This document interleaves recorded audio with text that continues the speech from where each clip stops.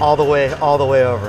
Um, I came back with Porsche, and uh, today we introduced the new 918, which is really the kind of the start of the, our, our next evolution of race cars, and uh, pretty exciting technology as they bring hybrid into racing. And then, for me, is how they bring hybrid back out of racing and bring it back to the streets, especially in LA and Santa Monica. So um, this this technology is so applicable for real world um, applications. So it's pretty pretty great, stunning car, and yet very relevant for for us. So tell me about that transition between a race car and what somebody will buy and drive on the 405. Sure, at 20 miles an hour on the 405. Um, a lot of times you, you hear about race on Sunday, buy on Monday. Well, I've never been that guy. That's that's not my world, um, especially in Southern California. This is, is just the opposite. Audi did, it, Audi did it years ago with diesel. Audi started winning all the big major races because they could get 20% longer be- between pit stops.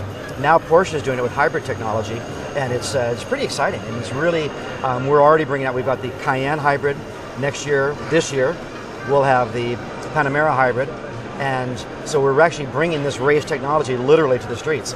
So um, it's the most direct transfer of technology I've seen in years. Is it consumer looking forward to this? Are they asking for this? Uh, absolutely. Um, as we all segue to uh, MPG in 2014, 15, and 16, all of us have to make major changes. And uh, so this is this is clearly uh, where we have to go, and the consumer wants to go there. The consumer wants to drive this and feel good about what they're doing. So this is the kind of technology that allows you know the best of both worlds. Um, the performance and the torque is spectacular on the car. So it looks like a Porsche and drives like a, a hybrid. Have you had a chance to drive that car? Oh, yes. Looking forward to it? And excuse me, not the 918. They, they don't let me get any closer than this. Uh, so no, I have not driven it. No, I don't know. Probably never will. That's a that that's certainly a museum car there. What else will you see here at the Detroit Auto Show? Um, we've got the next up is uh, for Volkswagen. I think in about an hour, and it's probably the biggest introduction in my 34 years I've ever seen. It's our new B-class sedan, our Passat, and it'll come out of uh, Chattanooga, Tennessee, and it's the priced like a Camry Maxima Accord.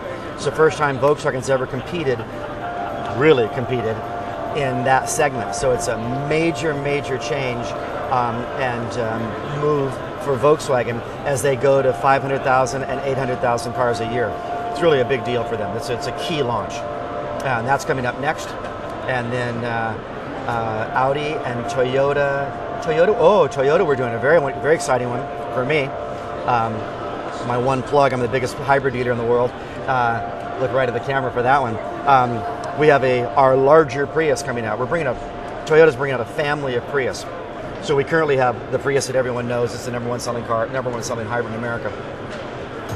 In six months, we'll have a small SUV-ish looking Prius, and then we'll have a plug-in Prius, and then a sporty Prius. So we will expand the family of Prius and have five Prius models in uh, a year and a half.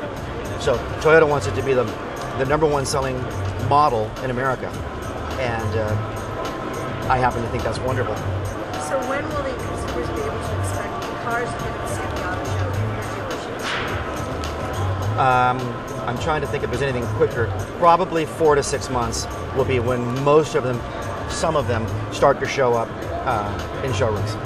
So pretty fun. Thank you. Sure. Tell me really quickly, is hybrid in a sports car a new technology or is this kind of Uh, sports cars Yes, uh, Porsche has been off-road for years. You know, you saw the uh, some of you saw the Pikes Peak stuff. So a lot of the stuff that people see doesn't sound like a Porsche.